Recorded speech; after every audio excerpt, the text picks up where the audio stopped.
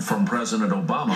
On the other hand, you've been tweeting with uh, Justin Bieber, Yeah. right? He said, among other things, hey, you support me, I support you. What has that meant to you? Oh my gosh, it means the world to me. I could have never dreamed of that happening. I got a tweet from Justin Bieber, Scotty McCreery, Taylor Swift, like so many of my idols that showed so much support, and that's just so, so exciting. Well, now, here's something else that you haven't seen to this point.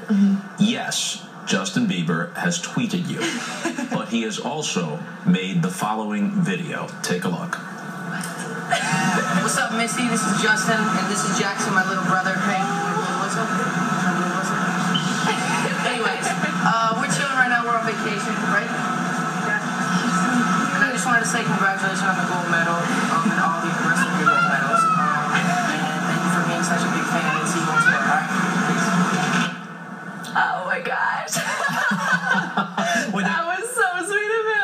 could look right into that camera and make your own return video, we'll, we'll send it to Justin. There you go. You want me to do it? Do it. Okay. Hi, Justin. I just want to say thank you so much for your tweet. I absolutely flipped out when I read it. I couldn't even believe that that was real life. But I am so excited to come to your concert, and your little brother is absolutely adorable. I'm super jealous. But thank you so much. I can't wait to see you and hopefully meet you.